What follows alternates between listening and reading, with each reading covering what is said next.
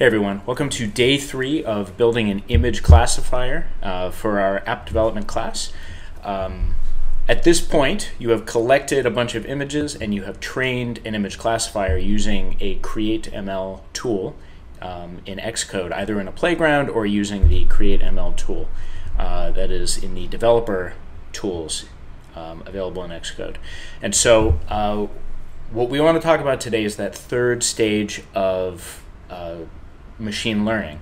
This is the cycle that we talked about last time. We have collecting data, which is what you did on day one. We have training your classifier, which is what you did last time. And today we're going to do a little bit of evaluating of your model. So we'll talk about how you go through that process.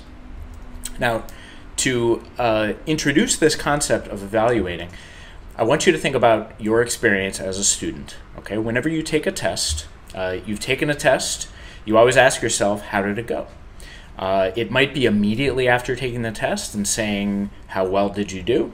But a little bit further on, once you've taken that test, you think about some bigger, pic uh, bigger picture questions about uh, how you did. Usually that happens when you've gotten the test back. Um, and so some questions you might ask is, what did you have correct? What did you get right? Uh, what did you get right, but it was an accident um, what did you get, get right maybe for the wrong reason? So you answered a question correctly, but the reason you answered it was totally off. That's a common thing. Um, it's also important to think about what you got wrong. What did you get wrong? Uh, what was the reason you got it wrong? Did you have the right idea, but maybe if it was a math test, you made a calculation error, or maybe for a, a science test, you had it wrong and you had a concept that was wrong? So something was uh, there was a reason you got it wrong, and, and trying to identify what that reason is is really important as a student. And so the other thing that you can think about after taking a test um, or getting an assessment back is thinking about what additional work you need to do in order to improve. Now the reason I bring all of these things up is that the same things that matter uh, for a student is trying to improve is what you can do to improve an image classifier or any trained um, uh, machine learning algorithm. You ask these same questions during the evaluate step to try to think about what your next steps are. Um, so let's talk a little bit about uh, how you go about that. Um, I do want to talk about one little thing that uh, I kind of glossed over before, and that is the idea that uh, there's this thing built into Create ML, which is that uh, you have this little checkbox that you can see over here. These, uh, these options are ways that Create ML can actually take your test data and expand your data set quite a bit to say, um, this is the data that you brought in, but you could make it so that uh, this image that you've imported, you could rotate it, you could make it blurry, you could maybe make it brighter or uh, fade it a little bit. And so um, the idea behind this is it makes the image classifier that much more uh, strong and consistent, robust. Um, if I have a remote control, um, if I am close to the camera, it's still a remote control. If I'm far from the from the camera, it's remote control. I can rotate it, I can flip it like this, I can maybe make it overly blurry and get some of those buttons, right? So all of these uh, these things, it's still a remote control. And so these functions make it even better when you are training your machine learning algorithm to um, uh, kind of multiply your data set and make it even stronger. Even if you have all of these different iterations of croissants and eggs and things, and you've seen I've tried to rotate them and change the, the brightness and the contrast, it still corresponds to the breakfast category. So it's just something that's built in. All right, uh, so let's talk about um, the uh, Xcode, and let's talk a little bit about how this works. So um, I have a couple models that I've used. One model uh, that you saw last time was the model that took nine seconds to train. So that's this one. I also have this other one where I had a bunch of these actually checked and training for this data set when I had all of these augmented data section, uh, uh, options selected, it actually took 50 minutes, 56 seconds. So it took, takes a long time to do that, but again, it improves the quality of your data. Um, that by itself, that said, um, there are still things that you can do beyond just kind of trying to, to improve the robustness that can make your image classifier that much stronger. So let's talk about it. Um, there's this really neat option where I have gone into I've gone into the classifier right here, and um, I have a set of data, and it will actually tell you um, based on that data, it will tell you what it thinks a given piece of data is. So let's drag in a breakfast picture, and it says with 100% confidence that that is breakfast. That's great. This, 100% confidence, that's breakfast. Now you might say this is really good, but notice that I am taking this from the training data. Your image classifier should get everything right from the training data. We'll also take a look at the at my testing data. So let's drag a few things in here.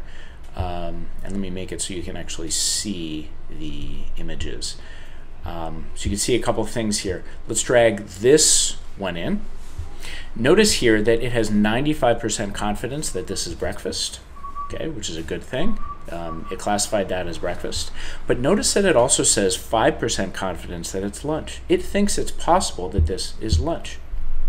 Part of the reason I think this one is being classified as lunch is because it has um, it has bread in it, and I want to show you why I think that. So if I go to the lunch, I look at all of my tests, every single one of my my lunch pictures if I drag those in, it it sees that bread. Like I think there's a there's a lot of bread in my lunch examples, and so it classifies those bread ones as uh, being lunch. And so this is an example of my classifier being uh, perhaps capturing some important elements, but possibly getting some of incorrect ones as well. My classifier is saying if there is bread, it is likely to be lunch. And that's why when we look at this example of breakfast, it thinks that might be lunch. I want to show you another testing example from breakfast just to show you um, another element of this, which I think is interesting. So I'm going to drag this one in. So it has 99% confidence that this is uh, breakfast. You know, it's right. However, those are pancakes. Those are pancakes and it's considering these i think that it's considering this to be breakfast because it's seeing that big yellow fluffy mass here and it might think that if in the image it finds something big yellow fluffy that it must be breakfast because it must be eggs so this is an example of something that my classifier had correct but possibly for the wrong reason. And so one move I could make from here is to maybe get some more pancakes in my training set to be able to show that pancakes are definitely breakfast, and then maybe it would consider this to be uh, breakfast for sure. Uh, so let's see a couple other examples from my testing set. Um, again, you get a lot more out of the testing set and trying out your data on the testing set than you do with the training. So make sure you're using that. Uh, let's drag in some pasta, 100% confidence on that, 100% confidence on that one, so dinner, it's doing a really good job of evaluating these. Um, so what I did was I actually collected some other data and I called it additional photos. And so I just went to Google and grabbed a few other things. Uh, let's bring in a pizza. Pizza is, I mean, cold pizza is good for breakfast, agreed. But this classified breakfast as, uh, this classified pizza as breakfast. Again, probably because it sees that, that yellow part and it thinks it's eggs, and it says, if there's a whole bunch of yellow in the image, that must be eggs, which means breakfast. Um, dinner, 2% confidence. Maybe it sees that red and is thinking, ooh, tomato sauce. All of your training examples for dinner had tomato sauce in them, so it thinks that this is uh, dinner. Uh, some other things. So another egg picture. Okay, nothing interesting there. This one here, okay, that is breakfast. It knows that that's breakfast. There's some fruit, like I've included some, some very different images in this set. How about this one? Okay, this is a picture of salmon, uh, salmon and vegetables. This time, it thinks that it's breakfast, but I know, looking at this example, that that's actually dinner. So this is just as when you are a student, you get a lot of information from the wrong answers, almost more information from the wrong answers than what you get from the right. So it's a really good idea to kind of push your image classifier, test it, see what the limits are of what it can do, because that's really going to give you information about um, how your how your classifier is working. Um, a waffle, somehow I have not shown a waffle in my training set, but it somehow knows that this is breakfast. And so we can ask it, why is it thinking this is breakfast? What are the elements of this, what are the features in this image that suggest to the image classifier that this is breakfast? So anyways, I hope this gives you a little bit of an idea of what I mean by evaluating your classifier. Um,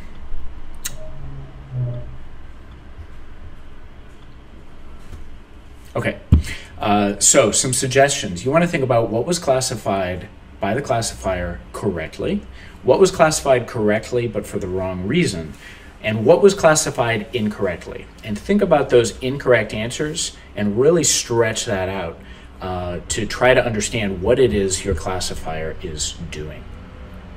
Um, in uh, machine learning, there's a, concept of something called a confusion matrix. And a confusion matrix tells you, it's, it's not exactly like this, but it's similar. Um, it tells you how many did you have correct, how many did you have incorrect, but it also talks about how many, uh, it, it also talks about the idea of how many did you get wrong for the right reason, how many did you get right for the wrong reason? How many get, did you get right for the right reason? How many did you get right for the uh, wrong for the right reason? So it basically says, how well is your classifier um, working in all four of these? And so this is an, a useful way to organize how you evaluate your model as you uh, think about what you might do to improve it for the future. So here's what I want you to do today. Um, gather a, a, little bit more test data, perhaps. You could go to a different data source and get some more pictures to test. Um, use your testing data the same way that I did in uh, Create ML um, to think what is being classified correctly, what is um, what features do you think your uh, classifier is using in order to define each of the different elements. Um, so in my example for breakfast, I think that my classifier sees eggs as being an indicator that a picture is showing breakfast. And bread, my classifier uses to indicate uh, lunch. And I think uh, that that red color of the tomato sauce that appeared in many of my training images for dinner, that is what I think it might be using for uh, for dinner. And so as you collect additional data, you might think about coming up with, with images that uh, test for those theories, like test those theories and find evidence that you could use to see if you are correct. You also want to think about what's being classified incorrectly. Um, what features is the classifier grabbing onto in order to do things incorrectly? And then I want you to think about uh, what you could improve in your training data to better identify the categories. Um, and so I want you to think about all these things. Uh, you can make notes on them, write them down, and show the way I did some of the uh, some of the ways that your classifier is classifying your your images, possibly your additional ones. And I want you to record a video on Flipgrid where you talk about some of these issues, you answer some of these questions. And uh, the last thing that I want you to do is try to improve your image set so that uh, in the future it just does a better job of classifying images in your three categories. All right, so that's it. Um, that's it for this week. Good luck. Have fun.